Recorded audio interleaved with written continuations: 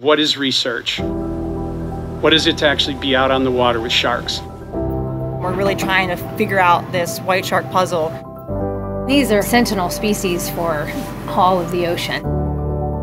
There was a time years ago when scientists said they needed 100 sharks to be able to publish good defensible science. And people were like, that's impossible. And we're now up to shark number 92. We came so far so fast. One meeting with Chris Fischer, and you know the vision, it sells itself.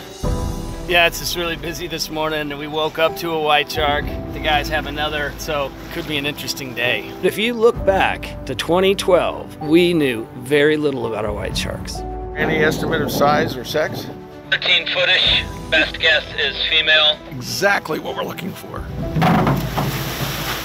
Here we go. Seven foot one is the girth. We can bring this aft whenever everyone's ready. It's an exciting way to actually do the research and see them in their natural environment to figure out where they're going and what they're doing. Got it! there it is! We're trying to put our planet back to a position of abundance and, and balance, and we're winning that. So this is the biologger that we put out on UMI last night, and once we download the data off this guy, we'll be able to figure out what she's been up to in the last 13 or so hours. I followed OCEARCH because I just absolutely love sharks and the scientists and the kinds of research that they're doing and producing a great body of work.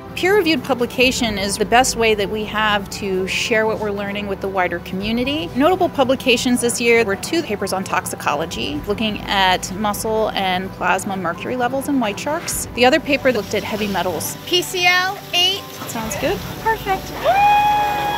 White Shark Global happened in November of this year, and it brought together all of the researchers around the world studying all of the different white shark populations. And you know it's a good project when everybody wants to be a part of it. The most significant thing this year is the establishment of the OCEARCH Global Headquarters. Not only the biggest moment of 2023, but one of the biggest moments in the history of OCEARCH. Working out of our new dock at Mayport, that's really going to be a game changer. Bringing in researchers to students to the public, all working towards a similar goal.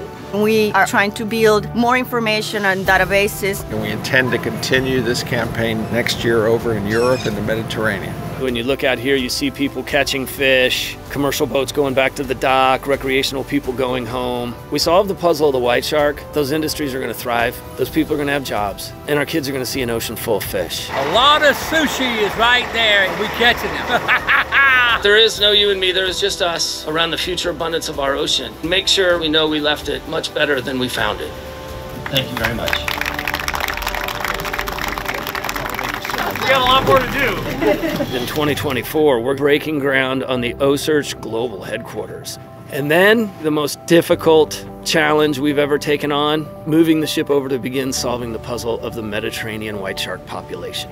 And we hope to take us from knowing almost nothing to knowing almost everything about their lives in less than 10 years.